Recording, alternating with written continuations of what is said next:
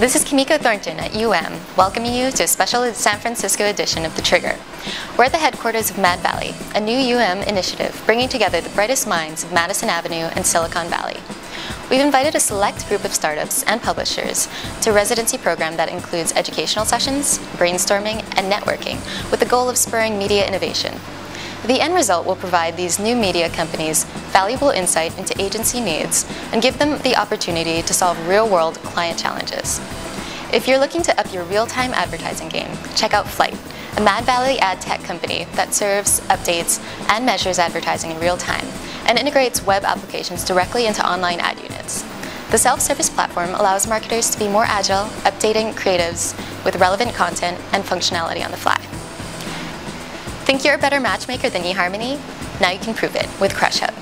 We're keeping our eye on the San Francisco startup that integrates with Facebook to create a new approach to online dating. To play the game, just nominate a single friend and create a personality profile for them. Then invite people to participate who can recommend matches from their friends on Facebook.